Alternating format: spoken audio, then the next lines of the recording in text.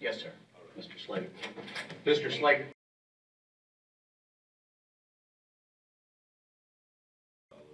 or imprisonment up to one year for the public defender's office. Charleston County screening form at the very top. Yes, I have that. In addition, you are ordered not to go within one children. I have uh, two stepchildren and one on the way. Mr. Slager, um, I do not have. Thank you.